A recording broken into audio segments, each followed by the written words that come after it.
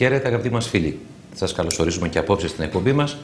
Μια εκπομπή με λόγο Ρωμαϊκό. Έχετε αναρωτηθεί άραγε γιατί οι σημερινοί νέοι δεν χαμογελούν, γιατί δεν νιώθουν πραγματική χαρά, γιατί δεν χορεύουν, γιατί δεν νιώθουν ίσως όπως ένιωθαν κάποτε παλαιότερα σε εποχές πολύ πιο δύσκολες οι νέοι, όπως ίσως τη ζήσαμε και εμείς όταν είμαστε νέοι, αλλά και οι προηγούμενες γενιές μας. Μέσα στην κρίση, που όλα τα μετράμε με οικονομικούς όρους, ξεχάσαμε να δούμε τα παιδιά μας και δυστυχώς δεν χαμογελούν σήμερα. Αυτό θα ήθελα να διερευνήσουμε και να ανοιχνεύσουμε έχοντας μαζί μας έναν εκλεκτό καλεσμένο, τον κύριο Κωνσταντίνο Γανωτή. Κύριε Γανωτή, σας καλωσορίζουμε στην εκπομπή μας. Να σε καλά. Ε, να πούμε εισαγωγικά για το ποιος είστε. Ε, είναι καθηγητής, φιλόλογος, ήδη συνταξιούχος βεβαίως, πολυγραφότατος συγγραφέας, έχει ασχοληθεί ιδιαίτερα με το θέμα των νέων, με τα θέματα των νέων, παιδαγωγικά.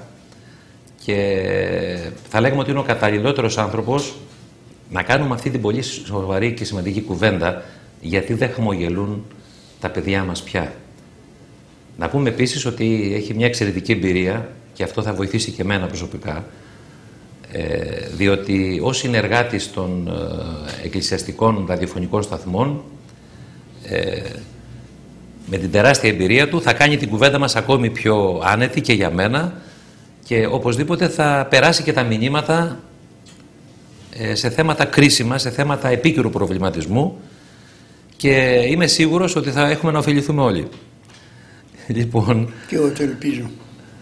Ε, κύριε Γανωτή, ίσως έχουμε ξεχάσει και εμείς οι ίδιοι. Και εγώ σαν από τη δική μου γενιά υπήρξα νέος και εσείς παλαιότερα. Φαντάζομαι ότι υπήρχαν κάποια στοιχεία που θα έπρεπε να ξαναθυμηθούμε. Δηλαδή, να δούμε ποια ήταν η φυσιογνωμία του τρόπου ζωής τότε των νέων. Να ξεκινήσουμε από εκεί.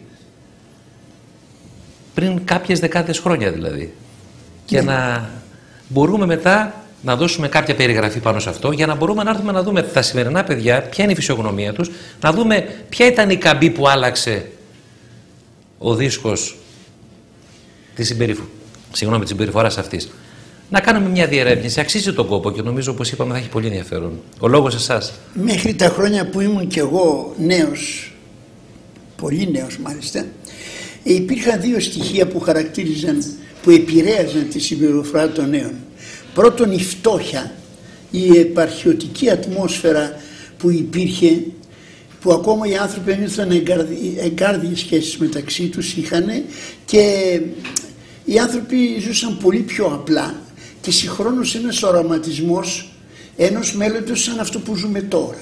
Μάλιστα. Δηλαδή ε, ζούσαμε φτωχικά, φορούσαμε ρούχα, τα φτιάχνανε οι μανάδες μας, ε, τρώγαμε πολύ φτωχικά, διασκεδάζαμε μεταξύ μας τραγουδούσαμε, πολύ τραγουδούσαμε. Ναι, είναι σημαντικό αυτό που ναι, λέτε, ναι, γιατί βέβαια, αυτό ε, πολύ. δείχνει πολλά. Είναι Ενώ μια έκφραση... δεν είχαμε ραδιόφωνα και δεν πηγαίναμε στον κινηματογράφο, ήταν και δύσκολο να πας, δεν είχαμε τα μέσα. Ε, Παρ' όλα αυτά όμως τραγουδούσαμε και συγχρόνως δουλεύαμε, κάναμε, ήμασταν χρήσιμοι στο σπίτι μας, στη ζωή μας και αυτό ήταν αποτέλεσμα της φτώχειας και της επαρχιακής ψυχολογίας μέσα στην οποία ζούσαμε ακόμη. Δεν είχε δημιουργηθεί το άστι το μεγάλο δηλαδή. Συγχρόνως όμως ονειρευόμασταν να έρθει μια εποχή που θα φορούμε λόγω χάρη. Να σας πω να, να δείτε εγώ ήθελα να βρεθεί μια εποχή που θα φορώ τα καλά μου τα κυριακάτικα ρούχα όλη τη βδομάδα. Ή ότι θα είχαμε ποδήλατο. Για άλλα πράγματα δεν ονειρευόμασταν. Ε, επίσης ε, ότι θα μπορούσαμε να περπατάμε στον δρόμο και να είμαστε αναγκασμένοι να λέμε καλημέρα στον καθένα. Ναι, και να μην δίνουμε και πολύ σημασία, να, μην έχουμε ανάγκη ο ένας του άλλου. Αυτό που χαρακτηρίζει ο Χρυσόστομος, ο Ιωαννιές ο Χρυσόστομος ως πάρα πολύ κακό είναι ε, που θέλουν οι άνθρωποι να μην έχουν ο ένας την ανάγκη του άλλου. Μας λέει τι θέτε κύριε; Αντικαταστήσαμε τώρα το αδερφέ μου που λέγαμε τότε, όχι αδερφέ, με το Κύριε. Καταλάβατε, οπότε ο καθένας είναι κύριος και απρόσιτο στον άλλον. Αυτά και έτσι με το Κύριε βάλαμε στην ουσία ένα τείχο μεταξύ μας. Ναι, αυτό δεν τα ζούσαμε ακόμα τότε, αλλά τα ονειρευόμασταν.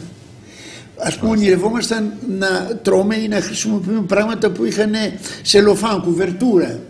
Να έχουν τυποποιημένα, να είναι τυποποιημένα αυτά που τώρα τα αρνούμαστε. Δεν θέλαμε τα χήμα πράγματα. Ενώ από αυτά ζήσαμε όλο τον καιρό. Λοιπόν, αυτή την φυσιογνωμία των οποίων όμως οι νέοι αυτοί, επειδή ακριβώς δεν είχε φτερώσει ο νους τους ότι μπορούσαν αυτά όλα που ήταν οι λογισμοί τους ουσιαστικά να τα γνωρίσουν και να τα απολαύσουν, ζούσαν με την απλότητα και την ταπείνωση που τους επέβαλε η πραγματικότητα. Και αυτό τους έκανε να είναι χαρούμενοι. Δηλαδή θυμάμαι εποχή που κινδυνεύαμε και. Παρά τις όποιες θερήσεις, γιατί θα πρέπει να δούμε ότι δεν ήταν οι εποχές ε, τόσο εύκολες όσον αφορά ήταν, την επιβίωση. Δεν ήταν, δεν ήταν γιατί κάποιος θα διερωτού το, αυτά ήσαν χαρούμενα τα παιδιά. Όχι. Ενώ ζούσαν με, με στερήσεις; να καταλάβουν τα παιδιά τώρα τι οι σημερινοί νέοι, τι σημαίνει να σκοθεί το πρωί να πας στο σχολείο και να πρέπει να πηδήσεις πάνω από νεκρούς που έχουν, άλλοι έχουν εκτελεστεί και άλλοι έχουν πεθάνει από την πείνα. Πού να τα καταλάβουν τα πράγματα; Εγώ είδα άνθρωπο να πεθαίνει από την πείνα. Μάλιστα. Λοιπόν, ε, δεν τα ξέρουν αυτά. Ούτε ή τον τρόμο ότι άμα βγεις μετά τη δύση του ηλίου έξω θα σε πυροβολήσει περίπολος. Αυτά δεν τα ξέρανε. Παρ' όλα αυτά όμως εμείς μαζευόμασταν μέσα στις αυλές και πέφτουμε ανάσκελα, βλέπουμε τον ουρανό και τραγουδούσαμε. Υπήρχε δηλαδή μια εύθυμη διάθεση. Εύθυμη διάθεση στους νέους όσο ακόμα κρατούσαν και εκμεταλλεύονταν την αθωότητα της φτώχειας. Δεν φαντάζεστε. Ε, Είπατε μεγάλη κουβέντα τώρα. Η μεγάλη, απώλεια, η μεγάλη απώλεια της εποχής μας είναι η απώλεια της φτώχειας. Γι' αυτό βλέπετε και τώρα με την κρίση, επειδή ξαναγυρίζουμε σε μερικές πρακτικές της φτώχειας, αισθανόμαστε μια πρωτόγνωρη αγαλίαση. Ας πούμε όταν δίνεις σε κάποιον δανεικά και δεν του ζητάς απόδειξη, δεν του ζητάς ας πούμε, να σου υπογράψει τίποτε, όταν ε, κοιτάς ποιος πεινάει στη γειτονιά να του πας λίγο φαγάκι κρυφά, αυτά τα πράγματα τότε ήταν κατάσταση, καθεστώς. Εγώ γύριζα στα σπίτια της γειτονιάς που είχαν πεζούλες, ήταν όλα μονοκατοικίες και ακουμπούσα επάνω φαγιά ξεπασμένα με ένα πιάτο να μην τα φάνε οι γάτες και έφευγα γρήγορα να βγουν αυτοί να τα πάρουν να μην μη δουν ότι τους είδα και τα λοιπά οι γείτονες που πεινούσαν. Αυτά τα πράγματα τώρα ξέρετε ξαναγυρίζουν και ο κόσμος κλαίει και οδύρεται και εγώ νιώθω μια ένοχη αγαλίαση. Αυτό είναι πολύ σημαντικό που λέτε τώρα πράγματι γιατί είναι ακριβώς αυτό που πολλές φορές το ακούμε μέσα από την απελπισία του κόσμου ότι μπορεί η κρίση να γίνει ευκαιρία. Μάλιστα οι πατέρες ε, και οι σημερινοί γεροντάδες ε, που στέλνουν ε, τις δικές τους ευχές, τις προσευχές τους για αυτόν τον τόπο, στην ουσία μέσα τους χαίρονται γιατί λέει αυτή είναι η Αγία Κρίση. Είναι η μεγάλη ευκαιρία να ξανααποκτήσουμε τα αυθεντικά στοιχεία, τα εσωτερικά, να βγούνε, να αισθανθούμε πραγματικά ότι είμαστε άνθρωποι, ότι είμαστε Έλληνες. Ναι. Ε, δηλαδή Λέμε όμως εποχή... παράλληλα μη ενέγγιση μάσης πειρασμών κύριε γιατί οπωσδήποτε υπάρχουν και άλλοι που πονούν περισσότερο από εμάς που το κουβεντιάζουμε αυτή τη αυτό ώρα. Είναι, αυτό είναι δεδομένο και δεν, και δεν, έχει δεν θα έπρεπε να ωρεοποιήσουμε και ναι, την κατάσταση. Απλώς είναι μια δυσκολία να μην την αφήσουμε να φύγει έτσι, έτσι αλλά να γίνει και ευκαιρία. Ευκαιρία καρδιακών έτσι. σχέσεων. Δηλαδή, κύριε Γανωτή, μιλούσαμε για μια έτσι, εύθυμη διάθεση των παιδιών τότε, ενώ ζούσαν σε στερήσεις. Αυτό σημαίνει ότι διαμορφώνονταν μία συμπεριφορά η οποία επηρεαζόταν, επηρεαζόταν από την διάθεση αυτή και τους έβγαινε στην γενικότερη συμπεριφορά τους. Κοιτάξτε, δεν είχε ακόμη καταρρεύσει το ιδεώδες της κοινωνίας που ήταν η Βασιλεία των Ουρανών. Από λίγο ως πολύ όλοι μας ακόμα ελπίζαμε και πιστεύαμε ότι η δικαίωσή μας θα έρθει από το Θεό σε μια αιώνια βασιλεία του. Το πιστεύαμε αυτό ή το διαισθανόμασταν ή το πολυπιστεύαμε ή το λιγοπιστεύαμε πάντως αυτό κυριαρχούσε. Άρα η, η ευημερία σε συνδυασμό με αυτή την διαφθορά που προκάλεσε ο, ο διανοητισμός, ο, ο λεγόμενος διαφωτισμός που είναι διασκοτισμός ουσιαστικά, η παρέτηση από, από τα ιδανικά με τα οποία πολέμησαν οι πρόγονοί μας και ελευθέρωσαν την Ελλάδα αυτά σε συνδεσμό αυτά τα δύο έφεραν αυτή τη μοναξιά του ανθρώπου ο οποίος μέσα στη μοναξιά του που λέει ότι εγώ είμαι και εγώ πρέπει να παλέψω να σώσω τον εαυτό μου χωρίς να σκέφτεται ότι πόσο θα τον σώσει. Ένα χρόνο, πέντε χρόνια, έξι χρόνια. ναι, ε, αυτό το πράγμα έφερε αυτή την πλήξη στον κόσμο και λέμε τώρα το κύριο χαρακτηριστικό της σημερινής κοινωνίας είναι η κατάθλιψη η οποία έχει χτυπήσει τους νέους. Μπαίνουν, βγαίνουν Υπάρχουν πράγματι πολύ ανησυχητικά ποσοστά και στατιστικά στοιχεία όσον αφορά την αυξανόμενη, τον αυξανόμενο δίχτυ κατάθλιψης. Ιδιαίτερα στους νέους. Οι ανθρωπολόγοι και αυτοί οι πολιτισμολόγοι λένε ότι μετράμε την πρόοδο του πολιτισμού με το ποσοστό της κατάθλιψης που έχει επικρατήσει σε μια κοινωνία. Θυμηθείτε ότι αυτό το είπε και ο Περικλής στον περίφημο επιτάφιό του. Για να μας το θυμίσετε γιατί είναι σημαντικό αυτό που λέτε. λέει, ε, κάναμε λέει ωραία σπίτια με ωραίες κατασκευές γιατί λέει η απόλαυση που έχουν, έχουν αυτά ε, το λυπηρόν εκπλήσει. Άρα έχουμε μια λύπη στην καρδιά μας και το ξαφνιάζει αυτή τη λύπη λίγο και την ταράζει την εκπλήσει όπως εκπλήσει ένα πουλί και λέει φεύγει έτσι ε, επειδή έχουμε ωραία σπίτια και ωραίες κατασκευές Μάλιστα. στο ΕΣ ξέρω εγώ το Ανατάλο την Πιχλιμπίδια να φαίνεται ωραία η πόλη μας και ότι οι, οι, οι άνθρωποι λέει εμείς ε, βρήκαμε επινοήσαμε γιορτές για να έχουμε ανάπαυλες. Δηλαδή αυτή η νοοτροπία που υπάρχει στα σχολεία σήμερα ότι οι γιορτές είναι για να μην κάνουμε σχολείο. Ναι, ναι. Δυστυχώς έχουμε λέει... αναγάγει εορτές όπως και πρόσφατα των τριών ιεραρχών ναι, ε, ως μία απλώς ε, αργία και ξεχνάμε και την ουσία και το μήνυμα. Και αυτός που είναι δεν τόσο πάει σημαντική οι τρεις ιεράρχες. Και αυτός που δεν πάει στην εκκλησία λέει: Καλά που υπάρχει αυτή η αργία να καθίσουμε μια μέρα. Αυτό το πράγμα το έχει στον επιτάφιο Εμερική. Μάλιστα. Μάλιστα. Α, γιατί, διότι εκπροσωπούσε μια ευημερούσα κοινωνία απέναντι σε, σε μια ολόκληρη οικουμένη που δεν ευημερούσε. Και το συνειδητοποίησε. Μάλιστα. Επομένως επηρεάζονται άμεσα οι διαπροσωπικές σχέσεις ε, μέσα ναι. από την διάθεση που έχει ο νέος και βλέπουμε τη διαφορά όπως είπατε της εποχής της δικιάς σας, της δικιάς μου σαν νέοι και ερχόμαστε στη σημερινή κατάσταση. Θυμάστε άραγε η καμπή πώς και πότε έγινε αυτή; Η καμπή. Η καμπή έγινε από την ε, αστιφιλία. Οι άνθρωποι που αισθάνονταν πληκτικά στο στενό περιβάλλον του χωριού που είχαν λίγες επιλογές ψυχαγωγίας ενώ ήταν ωραία ψυχαγωγία ήταν λίγες οι επιλογές τους. Λίγες οι επιλογές ειδονών έπρεπε το παιδί να περιμένει να έρθει η ώρα του που θα γινόταν το συνοικέσιο να τον αναβωνιάσω για να μπορέσει να αγγίξει με το δαχτυλάκι του την κοπέλα. Ήταν και λίγα τα πανηγύρια. Πρέπει να περιμένεις τις ημερομηνίες πάλι που θα έχει τη ναι. δυνατότητα ναι. να υπάρξει ναι, μια δυνατότητα να συναντήσει με τα βλέμματα έτσι μια ναι, υποψήφια. Λοιπόν, και Υπήρχε λοιπόν ένας περιορισμός. Δεν είναι δηλαδή αποκλειστικός ο λόγος ο οικονομικός της αστιφιλίας. Πάμε λέει στην πόλη για να βρούμε δουλειές. Μα όπου είναι οι άνθρωποι είναι και οι δουλειές αν μέναν οι άνθρωποι στην επαρχία και στα χωριά θα ήταν εκεί οι δουλειές. Αφόσον φεύγουν, φυσικά οι δουλειές φεύγουν από πίσω από τους ανθρώπους. Είναι το ότι θέλουν να ενσαρκώσουν, να, να αφομοιώσουν, να εκπροσωπήσουν τον νέο τύπο ανθρώπου του αστού όπως τον έβλεπαν στον κινηματογράφο, όπως τον έδειχναν οι οι καζατισμένοι που ερχόταν από την Αμερική Μάλιστα. που είχαν χρυσά δόντια και εμείς μέναμε εκστατικοί που είχαν χρυσά δόντια. Οι άνθρωποι είχαν ρολόγια εδώ κρεμασμένα στο γυλαίκο τους και κρέμονταν οι αλυσίδες ε, και λέγαμε, κοίταξε ρε παιδί μου. Ε, Πόσο σπουδαίος έγινε αυτός. Πόσο σπουδαίος γιατί... έγινε. Και, και αφήσανε την ομορφιά της, του χωριού, την αρχοντιά και έτσι άλλαξαν οι προσδοκίες. Βέβαια. Και τότε λοιπόν με την ομαδική αστιφιλία που ακολούθησε ιδιαίτερα από την εποχή του εμφυλίου πολέμου που είχαν και ένα ακόμα λόγο το ότι δεν αισθάνονταν ασφάλεια στα χωριά. Ναι, και άλλοι πήγαν και στη Γερμανία και αποκτήσαν από εκεί πέρα ε, ε, εμπειρίες αστικής ζωής και έτσι άρχισε μια ραγδαία κατάρρευση της παράδοσης της ελληνικής κοινωνίας και φτάσαμε στο σημείο ενώ πρώτα ήταν σπάνιο πράγμα να μην εκκλησιαστεί κανείς την Κυριακή τώρα να εκκλησιάζεται ένα, δύο, τρία Συμβαίνει το αντίθετο. Είναι σπάνιο όταν εκκλησιάζεται κανείς. Ναι, βλέπετε. Έτσι αυτή είναι η καμπή. Η οποία καμπή τώρα προχωρεί ραγδαία.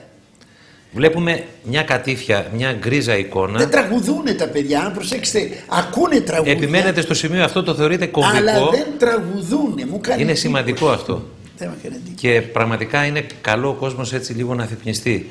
Μέσα από την κουβέντα αυτή, είπατε πολύ ωραία, δεν τραγουδούν τα παιδιά. Ή- Ούτε γελάνε ούτε τραγουδούν. Θυμάμαι είχε πάει ένας κληρικός στην Καρδίτσα τις μέρες που είχαν μπει οι αντάρτες μέσα και είχαν κάνει μεγάλες καταστροφές και σκοτώσαν πολύ κόσμο. Και προσπαθούσε να κρατήσει του κόσμου ας πούμε το παράπονο και λέει παρηγορήθηκα γιατί λέει από το παράθυρό μου άκουσε έναν πιτσιρίκο που περνούσε το δρόμο τραγουδώντας εκείνες τις μέρες. Μάλιστα. Και λέω και, «Ε, αφού μπορεί ακόμη το παιδί αυτό να αντιστέκεται συναισθηματικά. Να αντιστέκεται. Ε, ακόμα η κοινωνία αντέχει. Ενώ τώρα και όταν του δώσεις όλα τα αγαθά και βγει μέσα από ένα από αυτά τα πο- μεγάλα μαγαζιά, τα πολυσύνθετα που, που βρίσκουν όλες τις απολαύσεις στα παιδιά και βγαίνουν έξω, δεν τραγουδάει, ακούει μόνο μουσικά, δεν δυστυχώς, τραγουδάει. έτσι. Οπότε έχουμε μια σημερινή γκρίζα πραγματικότητα και το νέο, ο οποίος ε, η συμπ- μέσα από τη συμπεριφορά του δεν φαίνεται όπως είπατε να έχει αντιστάσεις. Δεν έχει. Ποιες είναι οι συνέπειες που... Ε, πρώτα πρώτα είναι οι αυτοκτονίες, οι οποίες είναι πολύ περισσότερες από όσες μαθαίνουμε. Καθένας βολεύει τα πράγματα ώστε να μην ε, ακουστεί ότι ήταν αυτοκτονία αυτό που έγινε στο σπίτι του. Ναι, έχουμε αυτοκτονίες στον αιώνα γιατί δεν, έχουν, δεν βρίσκουν διέξοδο. Είναι σαν το ζώο που το κλείνεις μέσα σε ένα μικρό χώρο και ξέρει ότι θα το πιάσεις και αυτό χτυπιέται όπου να είναι και όταν απελπιστεί πια πεθαίνει.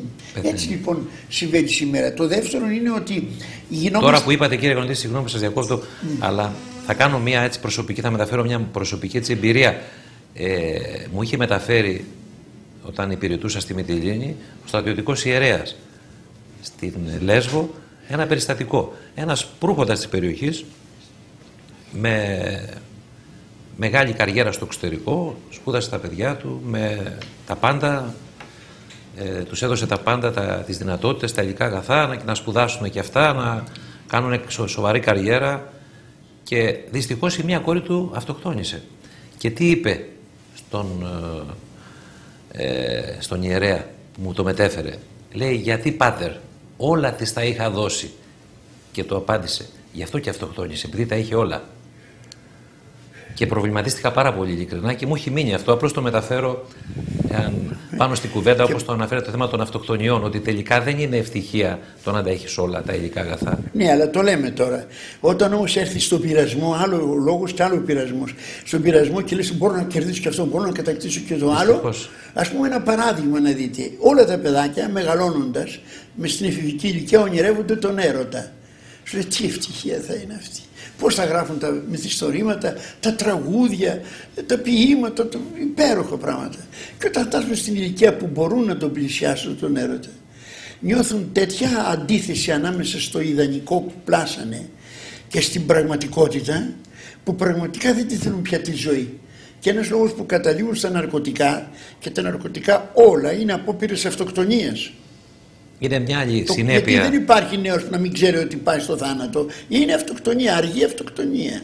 Λοιπόν, Είναι μια συνειδητή επιλογή λοιπόν και αυτή. ναι, Δυστυχώς προς το κακό. αναβαλώμενη, αναβαλώμενη και διστακτική αυτοκτονία. Λοιπόν, ναι, η, η- η σύγκρουση μεταξύ πραγματικότητας και ονείρου που είχαν πλάσει μέσα τους είναι τόσο δυνατή που αν είσαι και αδύνατη ψυχολογία, αδύνατη έτσι, προσωπικότητα και δεν έχεις μάθει να, να αντιστέκεσαι, δεν, έχεις, δεν υπάρχουν και αδέρφια δίπλα να σε στηρίξουν, δεν υπάρχουν γονείς να σε καταλάβουν, καταλήγεις στην αυτοκτονία.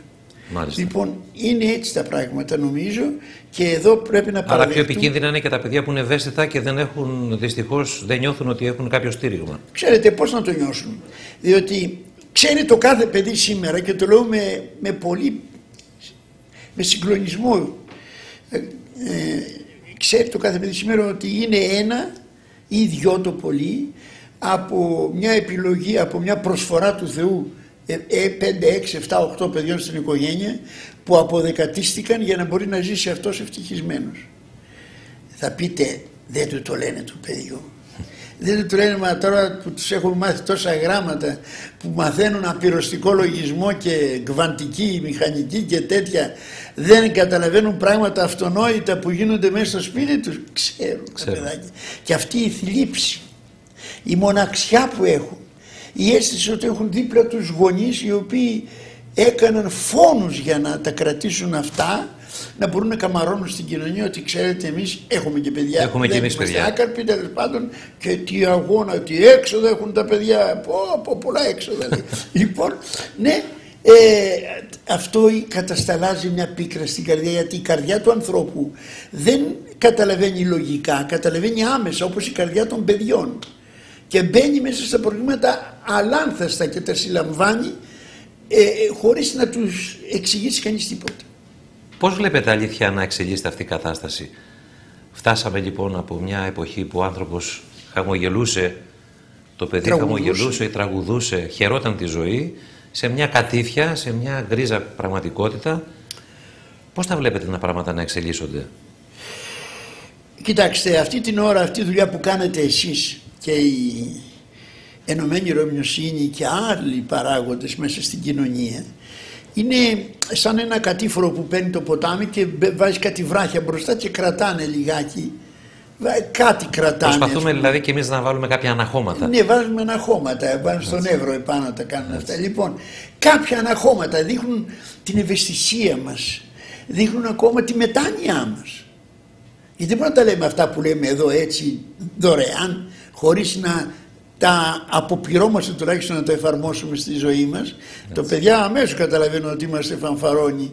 Λοιπόν, ε, Γι' αυτό και τα παιδιά είναι αυστηροί κριτές σήμερα. Πολύ αυστηροί κριτές. Δεν θέλουν να βλέπουν ειδικά τους υποκριτές. Δεν θέλουν να βλέπουν τους υποκριτές, αλλά βλέπετε δεν έχουν το θράσος να σου πούν είσαι υποκριτής, κύριε.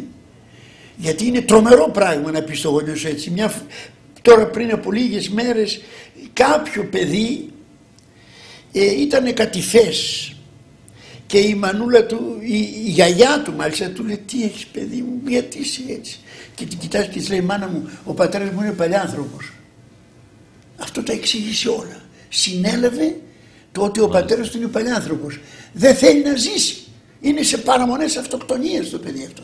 Καταλάβατε λοιπόν υπάρχει αυτή η ανάσκεση την οποία προσπαθούμε να κάνουμε τώρα από πραγματική ευαισθησία αλλά υπάρχει και η απεσιόδοξη σκέψη ότι θα επιταθούν τα βάσανα και οι πόνοι και οι θλίψεις του κόσμου για να βοηθήσουν αυτή την κατάσταση.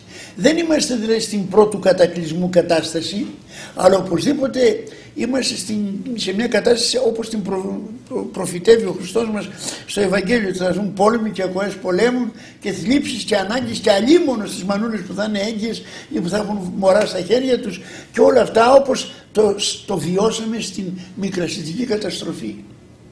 Μάλιστα. Πολύ ωραία. Κύριε Γανωτή, θα επιτρέψτε μας να βάλουμε μια ανωτελεία να κάνουμε ένα μικρό διάλειμμα και στο δεύτερο μέρος της πολύ ωραίας κουβέντας μας να δούμε και το ρόλο της Εκκλησίας, να δούμε το ρόλο των μεγάλων. Τι πρέπει να κάνουν οι μεγάλοι, δεν έχουν και αυτοί τις ευθύνες τους. Μήπως θα πρέπει και αυτοί να πάρουν κάποιες κατευθύνσεις, ε, να μπορέσουν οι ίδιοι να αυτό προσανατολιστούν για να προσανατολίσουν και τους νέους, οι οποίοι ζητάνε όπως είπαμε στηρίγματα. Τους έχουμε βάλει πολλούς τείχους, πολλές φορές τεχνολογικούς, Μήπως θα πρέπει και εμείς οι ίδιοι να αλλάξουμε; Μήπως. Όλα αυτά θα τα δούμε στο δεύτερο μέρος. Μήπως. Μείνετε κοντά μας, θα επιστρέψουμε σε λίγο.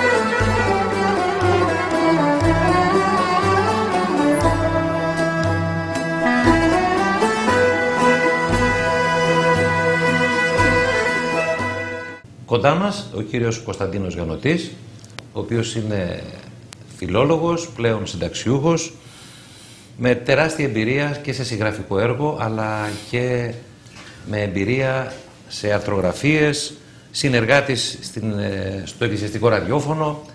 Ε, έχει πολλές παρεμβάσεις με το λόγο του και πιστεύουμε ότι και η σημερινή κουβέντα που κάνουμε με το ερώτημα το μεγάλο γιατί δεν χαμογελούν τα παιδιά μας πια και δεν τραγουδούν όπως λέει ο κύριος Γανωτής να υπενθυμίσουμε ότι ο κύριος Γανωτής έχει και Είστε και πολύτιμος κύριε Γανωτή, ναι, έχετε 7 παιδιά και 19 εγγόνια λοιπόν. Οπότε ε, νομίζω ότι μπορείτε να δώσετε και με το έργο σας και με τη βιωτή σας και παραδείγματα το ότι το να κάνει κανείς πολλά παιδιά σήμερα δεν είναι, δεν είναι μόνο ε, με οικονομικούς όρους, γιατί πραγματικά όπως βλέπετε προκύπτουν μέσα από την κρίση και σοβαρά προβλήματα δημογραφικά και υπάρχουν και λόγοι πραγματικοί που θα έχει να σου πει κανείς και πολλούς λόγους γιατί δεν κάνει παιδιά, δεν μπορεί να στήσει καν οικογένεια σήμερα γιατί η ζωή είναι δύσκολη, αλλά πέρασαν και γενιές με πολύ πιο δύσκολες καταστάσεις. Αυτά θέλουμε να δούμε. Τα παιδιά αυτά που ζούσαν με βασανιστικές στερήσεις σε εποχές τις δικές σας και πριν από εσά. Και όμως χαμογελούσαν και τραγουδούσαν. Λοιπόν, είχαμε πει να δούμε και το ρόλο της Εκκλησίας, να δούμε ποια είναι η φιλοσοφία αλλά και ποια είναι η πράξη. Σε αυτό το θέμα έχει να πει κάτι η Εκκλησία και μετά να δούμε και το ρόλο των γονιών, των μεγαλύτερων. Ναι, η Εκκλησία έχει να πει τα πάντα.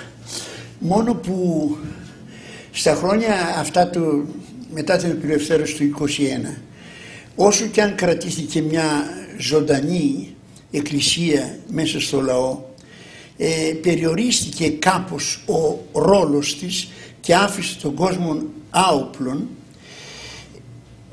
στο βαθμό που επηρεάστηκε από τα νέα ρεύματα που ήρθαν στην Ευρώπη, από την Ευρώπη. Δηλαδή αυτό που λέμε ότι η ευημερία και η αστική νοοτροπία που επακολούθησε την ευημερία έβλεψε το λαό, έβλεψε πρώτα την Εκκλησία και έπαψε να είναι προφητικό το κήρυγμά της, να ανταποκρίνεται στις υπαρξιακές ανάγκες των ανθρώπων και άρχισε να γίνεται ηθικολογικός. Όχι σε όλους βέβαια, σε ένα μεγάλο βαθμό όμως και σε αυτό το βαθμό που η Εκκλησία έπαψε να έχει αυτό το ρόλο του να στηρίζει υπαρξιακά τον άνθρωπο.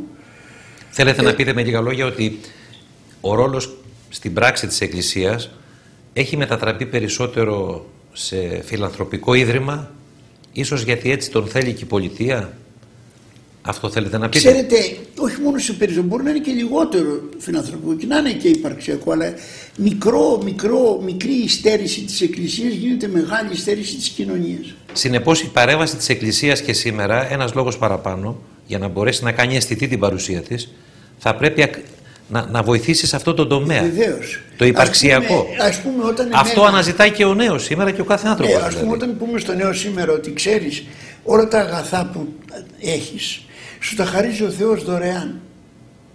Ότι όλα τα βάσανα που έχεις θα στα πάρει και θα σε αφήσει θα σου δώσει αιώνια ευτυχία. Όταν αυτό το δύο νέο σήμερα να λάμπει στα μάτια του ιερέα και του πατέρα του και του ενωρίτη του, θα έρθει στην εκκλησία και θα πει εδώ μονάχα μου δίνουν απαντήσεις. Όταν δεν το δει και δει μια ηθικολογία τότε ο νέος τραβιέται και είναι αλήθεια ότι παρόλο ότι κράτησε μια μεγάλη, ένα μεγάλο κομμάτι του ρόλου της σωστά το μικρό κομμάτι που δεν το κράτησε σωστά έκανε μεγάλη ζημιά. Αυτό είναι πολύ σημαντικό. Εγώ έζησα στα χρόνια. Έτσι, που, σημειώνεται. Που βγαίνανε περιοδικά, βιβλία κτλ. Και, και απαριθμούσαν τις αρετές. Λέγανε ότι, χάρη, ότι όταν μια οικογένεια κάνει πολλά παιδιά θα, μπορέσει να έχουμε, θα μπορέσουμε να έχουμε πολύ στρατό. Θα μπορέσουμε να έχουμε εξασφαλισμένα τα ασφαλιστικά ε, ταμεία. Ε, και λέω και εγώ, κοιτάξτε, μια κουβέντα θνητή, ανθρώπινη, κοσμική καλύπτει όλη την διδασκαλία αυτού του, αυτού του άρθρου σχετικά με την, με την ε, γέννηση των παιδιών και με, τη, με το φόνο που γίνεται στα παιδιά που έρχονται. Καταλάβατε, όταν έχουμε τέτοιες ελλείψεις, ε, που υποθυμάει ο εκκλησιαστικός λόγος και γίνεται κοσμικός αυτό αν γίνεται ας πούμε σε βαθμό 10 η κοινωνία το εισπράττει σε βαθμό 50-60. Πώς τα βλέπετε λοιπόν την παρέμβαση της Εκκλησίας πρακτικά; Ήδη υπάρχει συνέστηση ακόμη, υπάρχει, υπάρχει υγιής εκκλησία ακόμη, είναι ακόμα λίγη, μόνο ότι ακούγονται πολλές φωνές στην εποχή μας και πολλές πράξεις και ας πούμε τώρα ε, ε γίνονται λόγω χάρη ολονύκτιες αγρυπνίες ή αγρυπνίες γενικά που στα χρόνια τα δικά μου δεν γίνονταν. Οι άνθρωποι πηγαίνουν στις Κυριακές και στα μεγάλα πανηγύρια στην Εκκλησία. Το ότι ας πούμε εξομολογούνται πολλοί άνθρωποι σήμερα, το ότι κοινωνούν πολλοί άνθρωποι στις εκκλησίες σήμερα. Εγώ έζησα τα χρόνια ας πούμε μεταξύ του 45 και 60 που αν κοινωνούσαν ένας δυο δεν κοινωνούσαν οι άλλοι γιατί λέει είμαι ανάξιος. Συνεπώς υπάρχει και ο αντίλογος. Υπάρχει βέβαια. Είμαστε σε μια εποχή πράξη, καθαρά ηλιστική. Και στην πράξη αντίλογος. Γίνεται αγώνας και από την Εκκλησία και από τους πιστούς. Γίνεται, αλλά ξέρετε, και λίγο να μην γίνεται αυτό το λίγο βλάπτει. Είμαστε υποχρεωμένοι να κάνουμε επέκταση.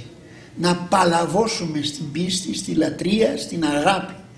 Δεν έχουμε με λίγα λόγια περιθώρια για χαλάρωση Δεν και για φιλολογική κουβέντα. Δηλαδή πρέπει να υπάρξει ένα συναγερμός, μια εγρήγορση, γιατί είμαστε σε πόλεμο. Αυτό θέλετε να ναι, πείτε. Ε, αυτή βεβαίως. Αυτή την εγρήγορση όταν τη δουν οι νέοι στους γονείς και Βαρέθηκαν να ακούνε πλέον λόγια.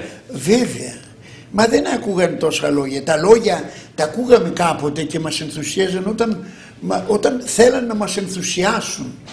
Να μας πούνε εμείς είμαστε σπουδαίοι, εμείς νικήσαμε, εμείς έχουμε ποσοστά μεγάλα, αυτά όλα και συνεπαρμένοι από την ίδια τη συστηματολογία που είχαν τα κόμματα και οι εθνικισμοί νομίζουμε ότι αυτό είναι ο χριστιανισμός μας.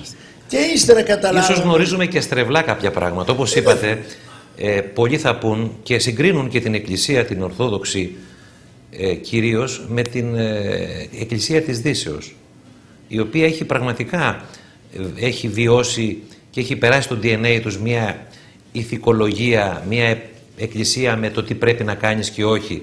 Βέβαια. Και αυτό είναι σημαντικό να κατανοήσουμε καταρχάς και ίσως και είναι και εποχή τέτοια που όπως είπαμε είναι ευκαιρία μέσα από την προσπάθεια της αυτογνωσίας μας και να, το, να, να ανακαλύψουμε την ταυτότητά μας να δούμε λίγο και την πίστη και πώς είναι πραγματικά η πίστη. Εγώ θυμάμαι το, το λόγο που είπε ο Ζαν Πολ Σάρτρ που ήταν τέκνο μιας θρησκευτικής οικογένειας. Από την ίδια οικογένεια είχε προέρθει και ο Άλμπερτ Σβάιτσερ και έλεγε μέσα στο βιβλίο του οι λέξει για το οποίο του είχαν δώσει το βραβείο Νομπέλ και έλεγε εγώ μεγάλωσα με σε μια οικογένεια που μου λέγανε να εδώ είναι ο Θεός. Εγώ κοίταζα και δεν βλέπα Θεό εκεί που μου δείχνανε έβλεπε μια ηθικολογία, μια προβολή. Οπότε τώρα κανείς καταλαβαίνει γιατί ο Σάρτρε κατάτησε να γίνει ο ναι, πρεσβευτής της Αθεία. Βεβαίως. Γιατί σου λέει αυτό που μου λέγατε για Θεό ναι, ναι. δεν ήταν Θεός. Δεν ήταν Θεός. Ήταν μια προβολή της ηθικολογίας σας. Λοιπόν, η Εκκλησία έχει να κάνει μεγάλη δουλειά. Να ταπεινωθούμε, να μιλήσουμε προφητικό λόγο και όχι ηθικολογικό, να αναγνωρίσουμε ότι τα παιδιά τα αδικήσαμε τα παιδιά τα αδικήσαμε. Τους δώσαμε μια μόρφωση η οποία είναι τελείως ε, άχρηστη, όχι τελείως άχρηστη, μπορεί να βγάλει ψωμί αλλά δεν τους δίνει ευτυχία. Μάλιστα. Απόδειξε ότι όσο περισσότερο ψωμί βγάζει η δουλειά τους, τόσο πιο δυστυχισμένα γίνονται. Έτσι. Καταλάβουμε ότι. Και να δούμε και τη διαφορά, κύριε Ανωτή, μεταξύ της μόρφωσης με την εξειδίκευση. Γιατί κάναμε εξαιρετικούς επιστήμονες με εξειδικεύσεις επί εξειδικεύσεων σε τομείς τεχνολογίας, ε, υπηρεσιών κλπ. Αλλά είναι και αυτό. ότι είναι αντιστρόφως ανάλογα. Όσο μειώνεται η πραγματική μόρφωση, η ευρύτητα, που μέσα εκεί θα πρέπει να δούνε και θέματα ε, των πατέρων. Οι πατέρες της Εκκλησίας έχουν τόσα να πούν και τους έχουν βγάλει από τα σχολεία, εσείς ξέρετε καλύτερα. Βεβαίως, εγώ αγωνίστηκα για να ξαναφέρω τα αρχαία ελληνικά στα παιδιά όταν τα αφαιρέσαν από τα σχολεία και βγάλαμε και βιβλίο ακόμη και διδάσκαμε στους ναύτικες των εκκλησιών όπως επί τουρκοκρατίας ή μη παράνομα αρχαία ελληνικά στα παιδιά που είχαμε και κλασικά κείμενα και της εκκλησίας κείμενα. Και με βάση αυτή την εμπειρία είναι που όταν ξαναβγήκαν τα βιβλία των αρχαίων ελληνικών, όταν ξαναμπήκαν τα αρχαία ελληνικά στα γυμνάσια μετά από καμιά 15 χρόνια, ναι, τότε κάναν τα καινούργια βιβλία των αρχαίων ελληνικών που είχαν ας πούμε καμιά δεκαριά κείμενα εκκλησιαστικά μέσα.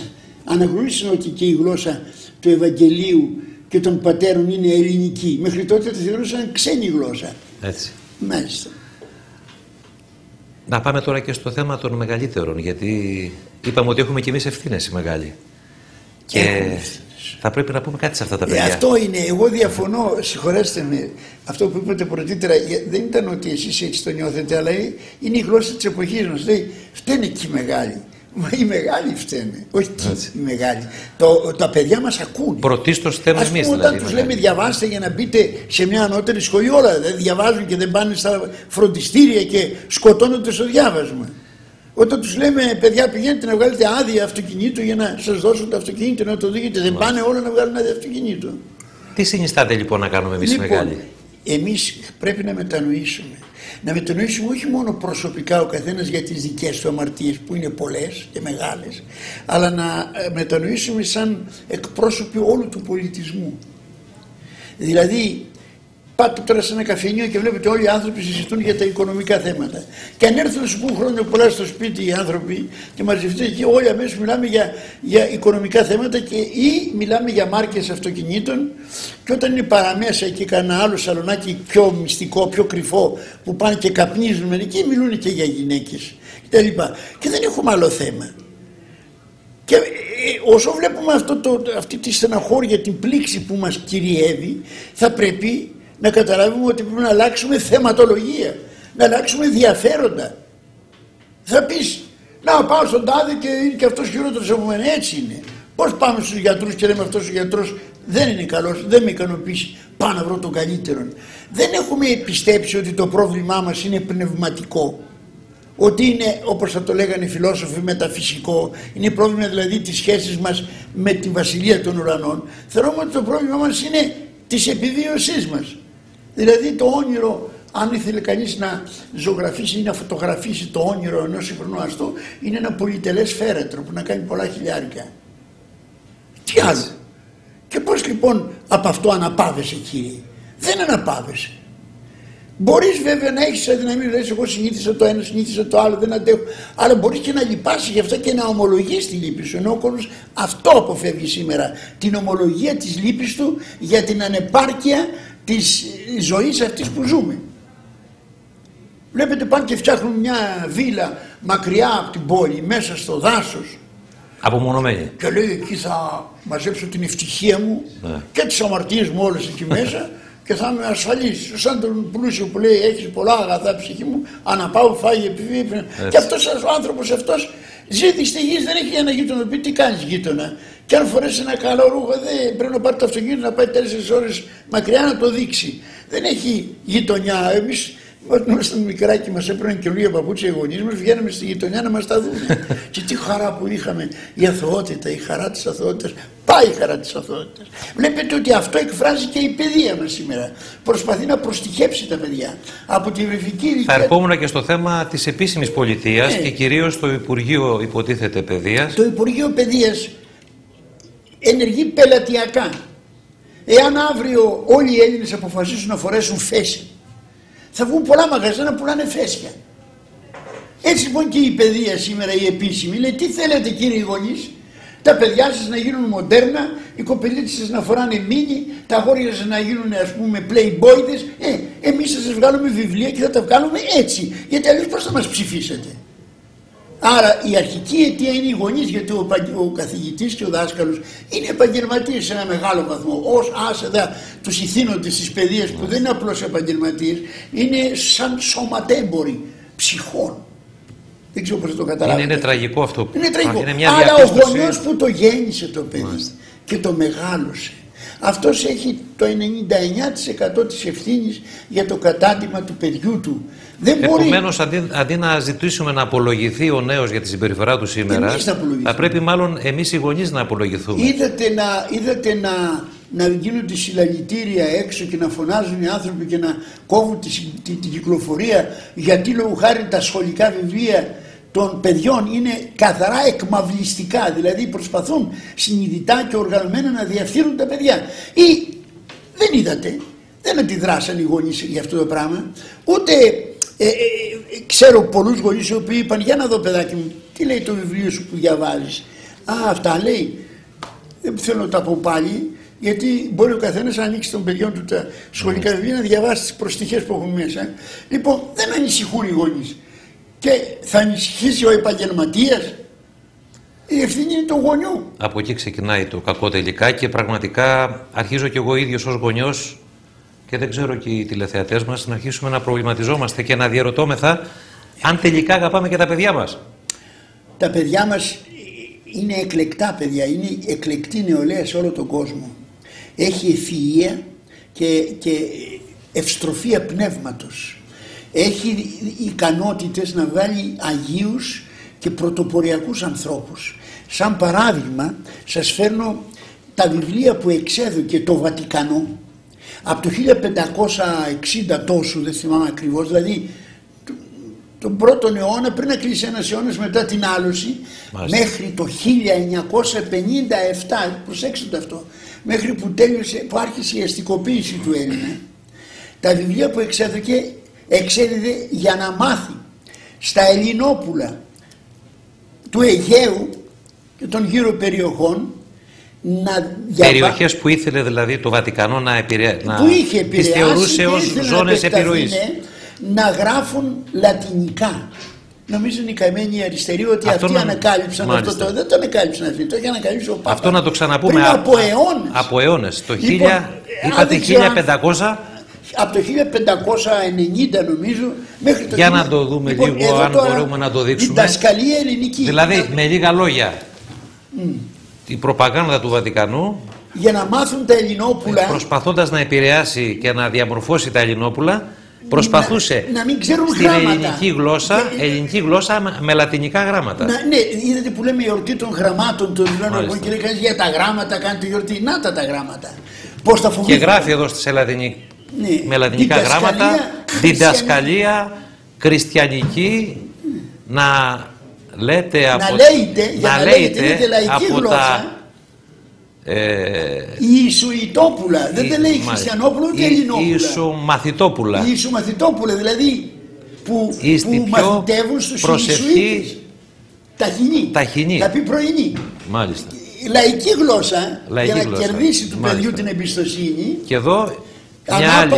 Αυτά είναι αυθεντικά ντοκουμέντα. Είναι τα εξώφυλλα των βιβλίων αυτών. Των βιβλίων της εποχής αυτής. Και μάλιστα από κάτω γράφει και Ρώμη, ε.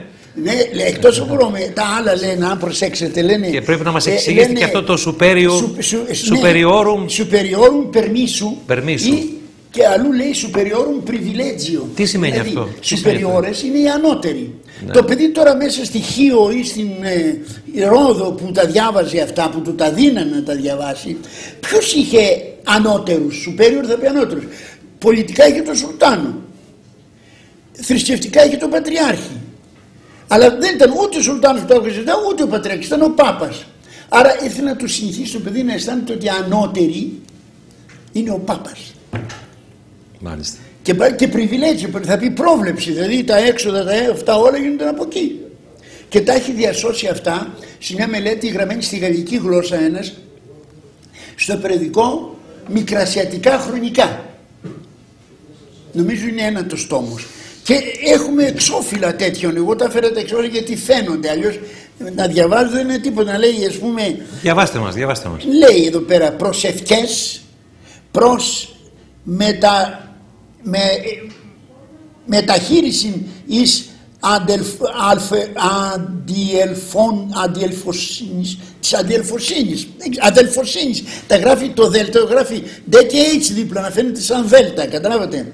Του πολύτιμου αίματος Κυρίου ημών Ιησού Χριστού. Και γενικά δηλαδή θεολογία, κατήχηση, γράμματα. Όλα μαζί. Σου λέει οπότε αυτό το παιδάκι δεν θα μπορεί να λέγει στο αναλόγιο να ψάλει γιατί δεν ξέρει να διαβάσει. Δεν, δεν, ξέρει, δεν μπορεί να γίνει παπάς. Μάλιστα. Καταλάβατε, δεν μπορεί να ανοίξει το Χρυσόστομο, τον Γρηγόριο να διαβάσει και να φωτιστεί με το ανατολικό πνεύμα. Τον έχουμε κερδίσει πολιτιστικά. Γιατί σταμάτησε όμως το 57, διότι κατάλαβαν πλέον, ήταν έξυπνοι αυτοί, κατάλαβαν ότι από την όπου αρχίζει η ευημερία και η αστικοποίηση του πληθυσμού δεν χρειάζεται να ξοδεύονται.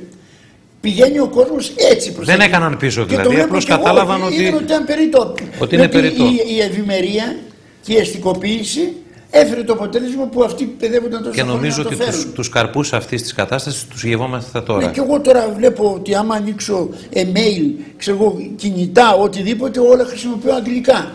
Πού είναι τα ελληνικά. Και τα γκρίκλι βεβαίως Ε, και θριαμβεύουν αυτά, στον και τα χώρο. τηλεγραφήματα που έρχονται με λατινικά γράμματα Μάλιστα. Και όλα αυτά σου λένε να τα βρε παιδιά, δεν τα... αρκεί να τους πλουτίζαμε.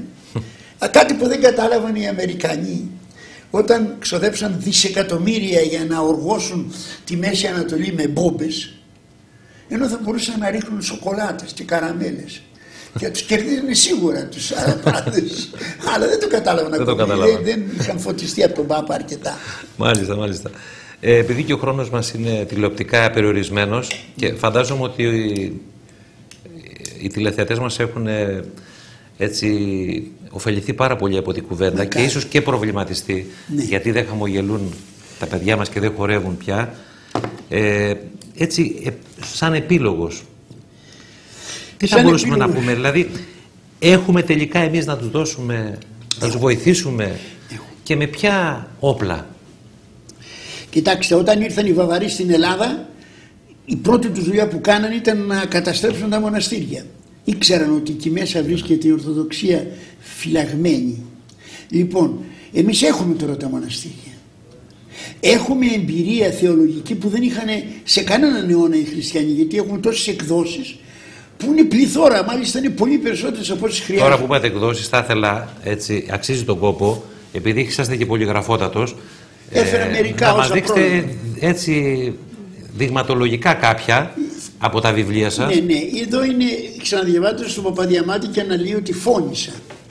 Νομίζω την επόμενη φορά Ναι. μια κουβέντα για τον Παπαδιαμάτη θα άξιζε να κάνουμε μαζί Βέβαια, σας. έχω κάνει κι αλλού και θα κάνουμε Μάλιστα. και εδώ. Το άλλο είναι να δει την Αγία Αναστασιά του Παπαδιαμάντη πάλι. Μάλιστα. Ε, επίσης έχω κάνει μια σειρά... Πόσα βιβλία έχετε γράψει, αλήθεια; Ε, περισσότερα από 40, δεν ξέρω ακριβώς Μάλιστα. πόσα είναι. Και το τελευταίο σας είναι πολύ σημαντικό. Και δεν, δεν το δεν το έχετε ξέχασα μαζί. να το δεν το φέρω. φέρατε. Είναι- Αλλά να μας πείτε λίγο τον τίτλο. Γιατί Ναι, φαντάζομαι είναι- ότι πολλοί θα Είναι ενδιαφερθούν. απάντηση σε ένα νέο γιατί, πρέπει, γιατί χρειάζεται να έρθει στην εκκλησία. Που ρωτάει γιατί να έρθω στην εκκλησία. Ένα μικρό βιβλιαράκι των τριών ευρώ είναι. Απάντηση, λοιπόν, σε ένα σε νέο ένα που νέο. ρωτάει γιατί να έρθεις στην Γιατί να εκκλησία; έρθεις στην εκκλησία; Λοιπόν, έβγαλαμε μια σειρά έξι βιβλία διδασκαλία της λειτουργικής γλώσσας. Απάντηση σε αυτούς που θέλουν να τη μεταφράσουμε. Και λέμε αντί να μεταφράσουμε τη γλώσσα στα νέα ελληνικά, ε, μπορούμε να, να μάθουμε στο λαό μας τη γλώσσα της Εκκλησίας. Και κάναμε σχολή με την ευλογία και την παρακίνηση, την επίμονη παρακίνηση του μακαριστού Χριστοδούλου και διδάξαμε δύο-τρία χρόνια. Δεν βρήκαμε μεγάλη ανταπόκριση, αλλά βγάλαμε έξι βιβλία. Ε, Εδώ είναι του παρακλητικού κανόνα στο βιβλίο που αναλύει και μαθαίνει και συντακτικό και γραμματική κανείς από αυτό. Αλλά κάναμε και για τους κανόνες του Χριστουγέννου κτλ. Μάλιστα. Εδώ είναι η, το επιτάφιο του Περικλή η ανάλυση από ένα ορθόδοξο, από μια ορθόδοξη πλευρά όμως, ναι, και της ε, Αθηναϊκής Δημοκρατίας. Εδώ είναι μαρτυριώνικοι δύο ε, κανόνες που έγραψα για τον Άγιο Δημήτριο και τον Άγιο Γιώργιο ως πρωταθλητές. Το έγραψα το 2004 για τους Ολυμπιακούς Αγώνες και είπα ότι γιατί παράκμασαν οι Ολυμπιακοί Αγώνες των αρχαίων, γιατί βγήκε νέος τύπος αθλητή.